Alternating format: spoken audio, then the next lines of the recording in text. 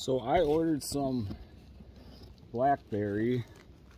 This is called baby cakes, thornless, and it fruits on first year canes, so primocanes. So the canes that grow this year will bear fruit. Um, from what I remember from the research on these, the canes will not overwinter, so you won't get fruit the second year in the summer. You'll just get the fall fruit. I'm here in zone 4B, Minnesota, and um, I do indeed get the fall fruit. And the canes sounds like they only survive down to 10 degrees Fahrenheit. So the ones I've planted a couple years ago, definitely the canes. Well, first year I just cut them down in the fall, but uh, I let canes overwinter this year and they definitely did not survive the winter. But so they they came in a thing like this. I got them from Home Depot. Definitely one thing you want to do when you plant them is you really got to detangle these roots because they just wrap around and they will never fix themselves. So you can see this is pretty, I mean, it's just a mat down in here. And it takes a little bit. I mean, if you don't, these roots are not going anywhere. This is a solid mass right here. So it does take a little bit of work. I usually start working down in the bottom here. And I mean, you couldn't even shake this dirt out if you wanted to. So I'm just getting my thumb in there and just working them out, working it out here. And it does take a while because I, I try to get it all the way up to the top here. That way I can spread out in the hole nice. And sometimes when I dig the hole, I will mound up a little dirt in the middle. That way I can spread the roots out. Because then the main part of the plant can sit on top the mound. That way when you fill it in with dirt, it doesn't push all the roots to the middle of the hole. So I am pulling out a little bit as I work out. And sometimes, you know, like this root here at the bottom, I'll try and follow back so I see it coming up here. And uh, know, I've tried to determine which way the roots go when they come out so I know which way is actually going back up to the plant. But best I can figure is going off of that they get smaller as they're going away, although sometimes I have not seen that to be the case. And yeah, if you don't do this, you know, the plants will not fix themselves and the roots won't recover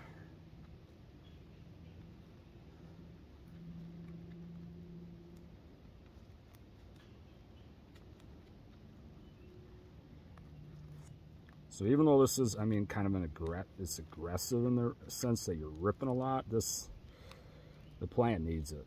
Otherwise it's just, it's not going to be a producer.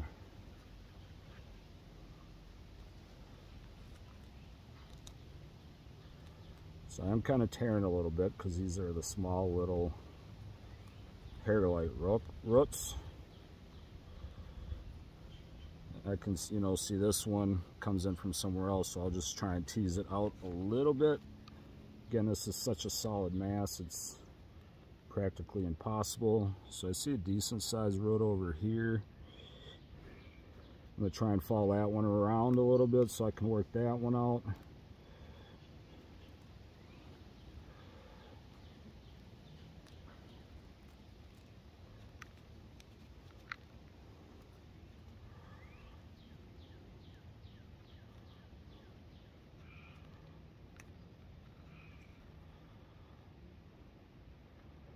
This one here.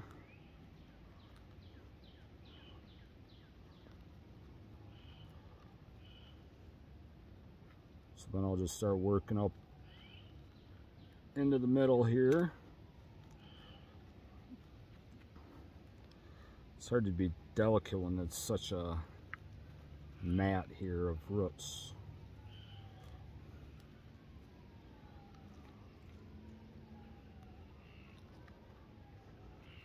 So I have this big one here. And There's another big one here. It goes up towards the top. And it looks like, let's see.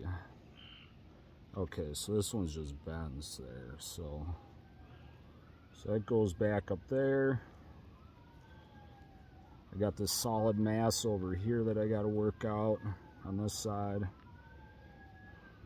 Sometimes you can just see a solid mass of roots in the middle. So that's partly, you know, you can kind of look in the middle to see what you got going on. That's partly why I work it up the middle, because otherwise it's just hard to tell heads from tails here.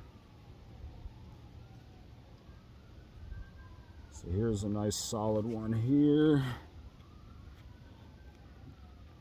Or big root anyways. Not solid, but I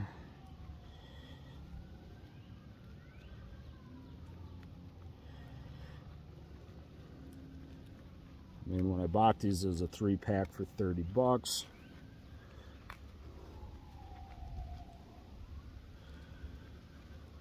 It's nice to have something that's thornless and primocane bears in zone 4, so B, zone 4B. I don't recall what zone they go down to.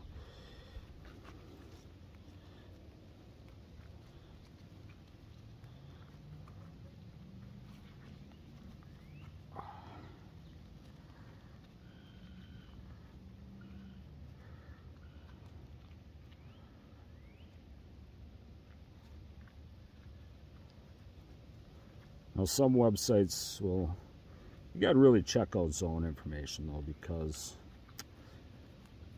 it doesn't, you know, websites will say like zone 3 or whatever and it's just not, it doesn't always look like legitimate information so I always try to look elsewhere. Now in Minnesota Department of Agriculture, I believe it was, they actually have a zone hardy list.